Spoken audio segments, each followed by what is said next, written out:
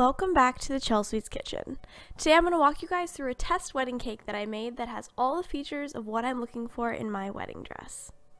So I made each tier a special flavor for both me and Stephen, and the largest bottom tier was made with a double chocolate frosting and a chocolate ganache. So I piped a thick ring of frosting around the perimeter to keep the dark frosting contained, and then I added a chocolate ganache drizzle over the top of that. I repeated that with my second layer, and each of these tiers is made with three layers of my favorite vanilla layer cake. Once the layers were stacked, I added on a thin crumb coat and chilled the cake in the freezer for about 5 minutes until it was firm to the touch. I then added a very thick second layer of frosting just to make sure that I got the sides really straight and level.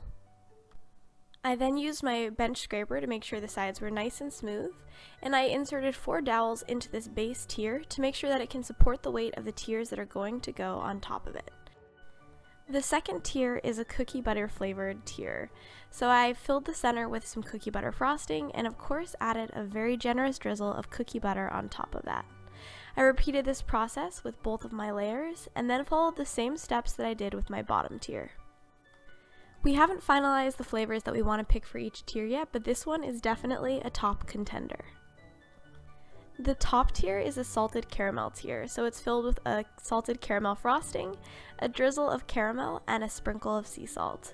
This tier is tiny, these are 4 inch cake layers. Um, I made this cake pretty small just because it is a test cake, so the tiers are 8 inch, 6 inch, and 4 inch. So I wanted to decorate this cake with everything that I'm looking for in my wedding dress. So of course I had to make some edible lace. Both the mold that I'm using and the powder that I used to make the edible lace I got on Amazon, and the links to both are included in the video description below. So I followed the instructions to a T and I really made sure that the lace mixture was wedged into every bit of my mold, and then baked them at 250 degrees for about 16 minutes. Once the lace is fully baked, be sure to let it cool for at least two hours. This will make it so much easier to remove from the mold. Initially, I didn't do that and I ended up ripping all of my lace, so be sure that you're patient and let it cool fully. So the box of edible lace that I got came with two packages. I made one, which ended up making four sheets of lace.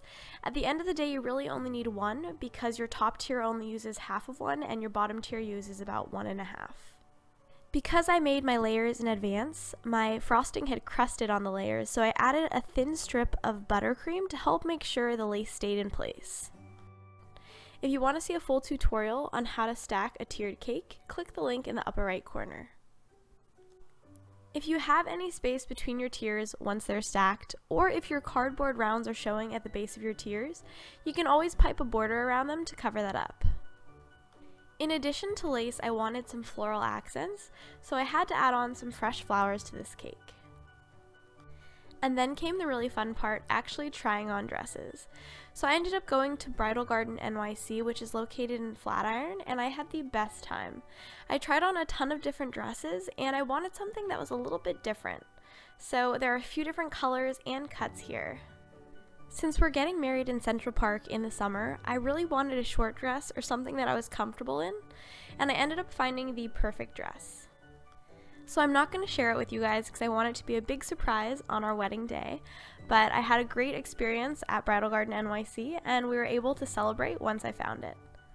I also had a little celebration in my kitchen once I finished the cake, and I wanted to cut in to show you guys all the different tiers that we made. If you guys enjoyed this video, be sure to click the like and subscribe buttons below.